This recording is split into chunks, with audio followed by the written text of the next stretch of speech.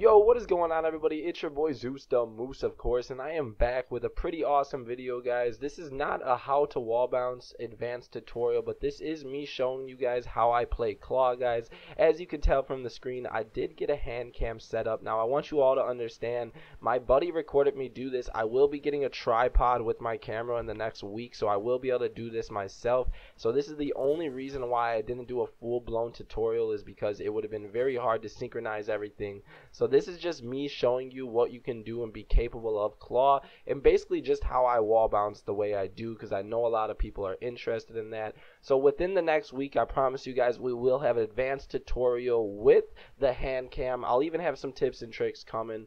But mainly I want to show you guys how to claw wall bounce or how it looks claw wall bouncing. And right here I want to show you the PC wall bounce. I know a lot of people are curious about um, if the PC wall bounce is faster. Well, just to get this out the way, the sensitivity is faster, but there's still a pull or there's still a cooldown system, so the overall wall bounce is not faster, but it definitely looks faster. Now I just went ahead and put together a bunch of wall bounce clips that um I hit, you know, just some outplays and stuff, just to show you guys what you can do while playing claw. Now please guys leave feedback in the uh, in the comment section because it really helps me to let me know what you guys want to know more of. I will be doing all types of advanced tutorials, tips and tricks in wall bounce, but I want to get this out the way first to show people that I play claw so they can know how I'm doing what I'm doing because I do I do think some people thought I was doing this with thumbs and that is really really hard. But um, mainly, I just want to showcase Claw. I understand that the, the tournament uh, controller settings and elite controllers now exist, but I've always been a straight uh, controller player, and I'll continue to be. So I'll continue to play Claw. I do think those methods could definitely help out players who don't want to play Claw, and definitely could substitute the buttons or whatever the system using the system is to become a bouncer like this. So I definitely think it's possible. I'll just always be playing Claw. So I hope you all enjoyed seeing how I actually wall bounce. Now I'm going to get to making a hand cam ASAP, but it really helps me out guys if you just let me know and leave feedback. As you can see right there, yo, check this out real quick. Come on, Zeus reacts for a second. This is actually a really cool wall bounce outplay I thought. You know, I'm just wall bouncing everywhere, just making my way around the map. I don't even know where somebody is. Yeah! Yes, I do!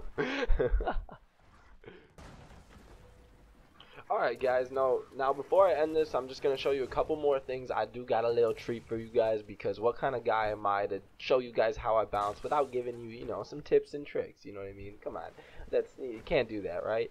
So right here, I just want to show you guys. It's just about momentum and just building the bounce. As you can tell, I've noticed a thing with the bounce. I know it's hard to like verbally uh, uh, communicate and explain to you guys how to wall bounce, but one very important tip to wall bouncing in this game is angular. Try to use the side of your body more than going forward. The more you press forward, the more the cooldown system actually starts hitting you. So therefore, if you can go forward then back, and you need to actually be able to look all the way at the wall of course, when I get a hand cam, it will be a lot easier to explain. But not only do we have what I just showed you right here, I have something really cool, guys. You can wall bounce backwards, yo. I thought this looked so cool, guys. I'm completely wall bouncing backwards. So basically, what I'm trying to get at is angling your character is very, very important in, in wall bouncing in this game. It's similar to angle bouncing, but it's not the same. But the more you can get used to angling your character and timing, you'll get to bouncing backwards and forward like right there. But I got one more thing for you guys, which is just another one of me wall bouncing backwards and forward. But I just want to stress how important it is to have the angle of your character looking at the wall. If you're holding down on your left stick and moving your right stick just left to right, you will not be able to bounce fast. That is why I made this video before the advanced tips, because I want people to understand you either have to play claw, tournament, or some form of being able to wall bounce and move both sticks at the same time.